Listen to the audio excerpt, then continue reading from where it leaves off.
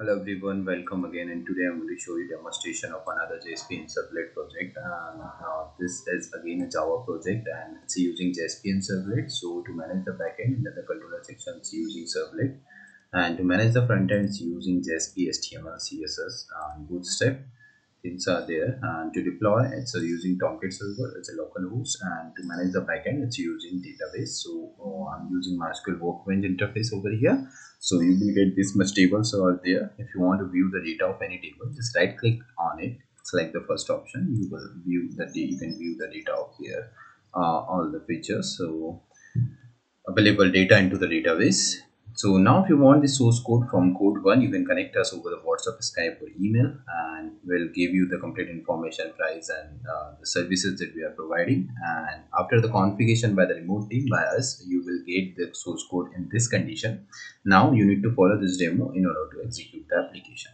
So uh, just go to your Eclipse, right click on the root folder of the project, go to run as, run on server, select the server click on next click on finish. Automatically server will start and it will launch your application over your chrome browser. And after that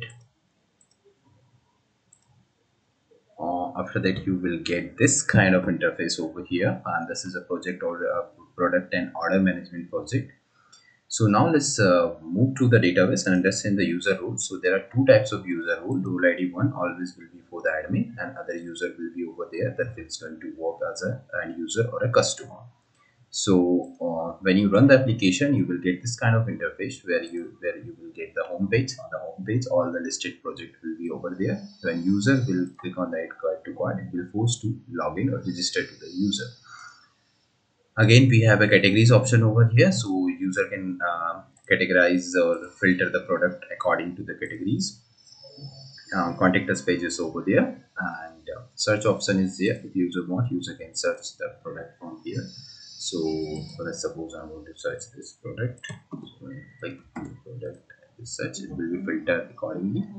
And again i go to the product and um, a registration option is there. So new new customer is can register from here and the existing customer login from here so first i'm going to log in as an admin and check what admin can do over there. Then we'll move to the customer section and see what customer can do over there. So i just enter credential for the admin and here after login you will get this. And here as an admin i have an option to add another admin and i have an option to add the categories. So currently we have three categories batch category 1 and cosmetic. So i'm going to add another category over there. So for demonstration so i just say new category and i'm going to just select the image. Uh, you can select any image. So i'm just uh, going to use a random image over here. And i just hit the description click on save. And the data is saved successfully.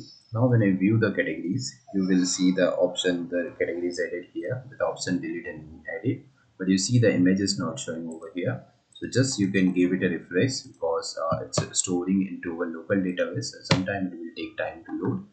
Until if you are not getting the images over there you can give it just a simple refresh right click on the project give it a refresh and when you refresh the project it will display over there. Okay so image is coming over there and now uh, what we can do with this we can edit the category we can delete the category while we are editing. Uh, you need to suppose um, this is edited description. So what I need to do I need to upload the image again and because it's a mandatory field over there and categories will be displayed now here and the description is edited. If I want delete it I can delete any category by clicking on just clicking on this delete button.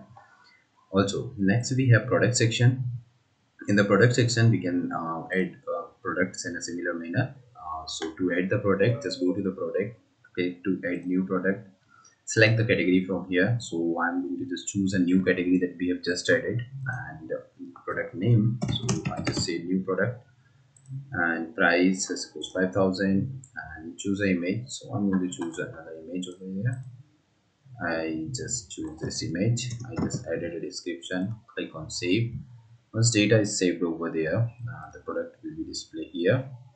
And just just just just leave it like this. After some time display that uh, image over here. That's not an issue. Or if you want to force display over here you can just give it a refresh and it will display the images. Here we have an order history. So here we can manage the orders. The customer who is going to order the product that uh, things and the detail of the customer will display here. Contact us page is there for if someone is going to submit a request from the contact us page the request will be displayed over here. And my profile section and logout now let's view a product and register as a new user and buy a product. How can we buy the product? So let's suppose i'm a new customer i'm going to add a uh, add uh, to cart i'm trying to add to cart some product. Uh, let's say i'm going to add to cart and it will ask me to log in or sign up. If i'm an existing user i can log in over there. If i'm not an existing user i can register.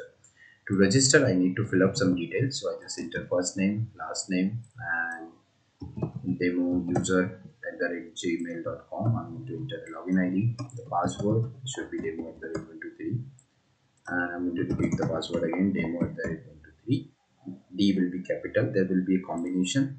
So I'm going to give you a combination. However, will be the combination. So it should be demo at the rate 1 to 3 like this. Uh, you can keep it as D at the rate 1 to 3 at the rate 4 power 6 something like that.